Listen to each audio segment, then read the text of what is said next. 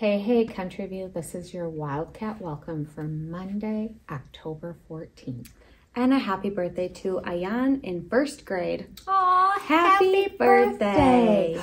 On a mindful Monday, we are going to learn something new. Yeah. Are you ready for this breath? Absolutely. All right. Well, this breath is called Buzzy Bee. Buzzy mm-hmm. bee. So we're going to kind of close our eyes or you can look down.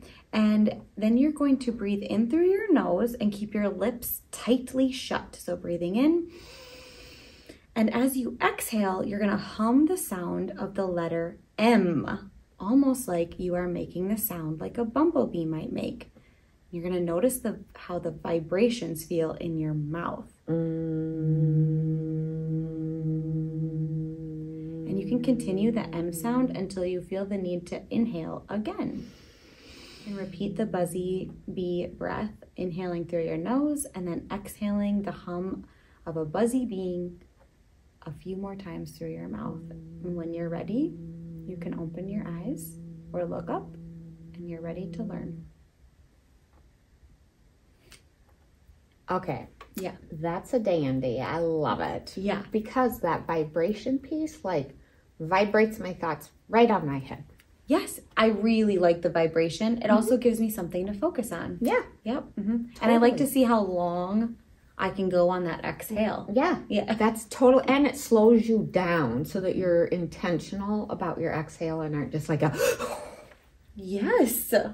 Slow and steady breaths. all right. Well, that's that. That mm-hmm. is a great way to start our Monday. And now it's time to honor Hispanic Heritage Month. Mm-hmm. Let's check out what we learned today. Hola, it's Miss Castillo again here showing you something like Home or Casi Casi Un Hogar by Andrea Beatriz Arango. It is available in our LMC in English and in Spanish. Andrea Beatriz Arango was born in Puerto Rico and has Cuban roots as well.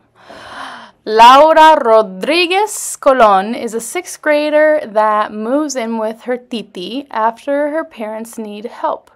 She befriends a puppy and needs to learn what home is to her. This novel is written in verse, which means each chapter is kind of like a poem. It might be a good fit for fourth or fifth graders.